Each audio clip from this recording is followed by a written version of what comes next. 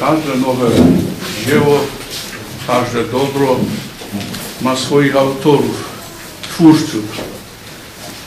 I na pewno to dzieło, którego otwarciu dzisiaj uczestniczymy, siedziby Zespołu Ratownictwa Terenowego, pracowni serologii, ma swoich autorów. Stoją za nimi ludzie, którzy swoją pracą, wysiłkiem, trudem, zdolnościami, także i uporem potrafili doprowadzić do końca Dwa lata temu, już praktycznie dwa i pół roku temu, otwarliśmy szpitalny oddział ratunkowy, oddział jest, działa, e, rozwija się i wydawać, wydawać by się mogło, że do szczęścia już praktycznie nam nic nie potrzeba. Otóż nie, e, analizując pracę tego działu, zauważamy, że można to robić lepiej i zauważamy, mamy coraz większą świadomość tego, jaką rolę odgrywa ratownictwo medyczne, już nie tylko w działaniach stricte medycznych, ale powiedziałbym wręcz w życiu społecznym e, i e, w życiu lokalnej społeczności. Otóż e, obciążenie pracą, tą służbą ratowniczą naszych jednostek jest bardzo duże. Szanowni Państwo, w skali roku do szpitalnego oddziału ratunkowego w Sanogu zgłasza się 20 tysięcy osób.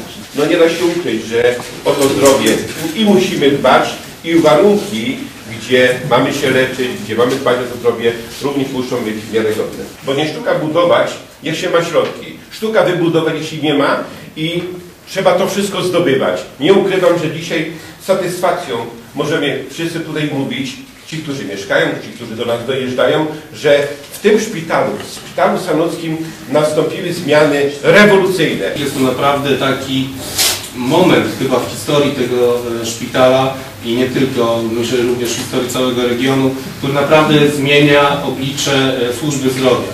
E, Placówki, o których Pan Starosta wspominał, hemodynamika, wszyscy czujemy się na pewno bezpieczniej. Mam jeszcze kropidło takie malutkie wprawdzie, ale ono jest skuteczne.